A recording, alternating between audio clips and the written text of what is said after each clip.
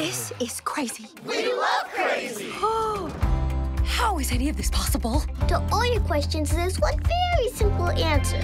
Well, you don't have to look too hard. We're here for all your question marks. If you're trying to figure out just who you are, Don't look far. Ooh. in the sky, in your front yard, in your heart, and in your scars. If you really want to know just who you are, You're a star.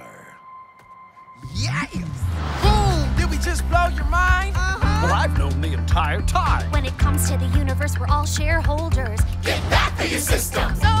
See, we were all just little nebulae in a nursery from supernovas. Now we've grown into our history. We're taking wise right out of mystery closure. Now we're taking it all All the star exposure.